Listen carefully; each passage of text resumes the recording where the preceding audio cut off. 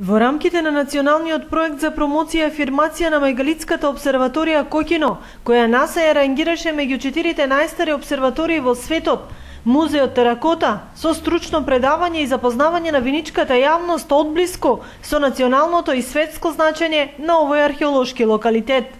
На 27 јули Музеот на град Виница организира предавање на тема Кокино, светилиште и стара обсерваторија, која ќе ја одржи Јовица Станковски, тој е археологот кој што го откри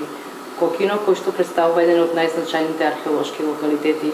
на територија на Република Македонија, кој датира од период на бронзеното време, вториот милениум пред нашата ера и железното време од првиот милениум наша ера. Се наоѓа во општина Старо Нагоричане во Куманово